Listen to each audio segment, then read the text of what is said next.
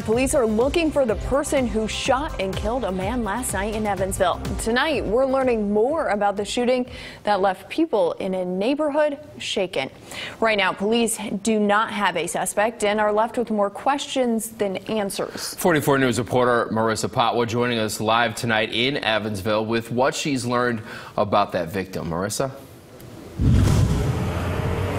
I'm here on Haynie's Corner, where just a few blocks away last night, a man was shot and left for dead just again a few blocks away right there on Parrett Street. Now, the coroner's office just released the victim's identity as 47-year-old Donald Ray Brigham of Evansville.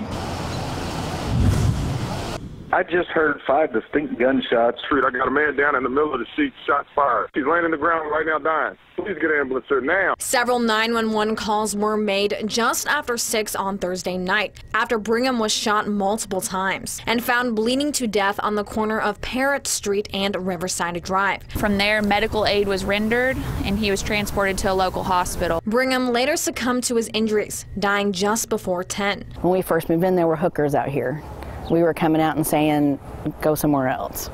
Um, that's a lot different than gunshots, though. Melissa Whitler, who has lived at the heart of Haynie's Corner for nearly 26 years and was just a few blocks away at home when she heard the commotion. I heard him say, they were looking for somebody, so I locked us up.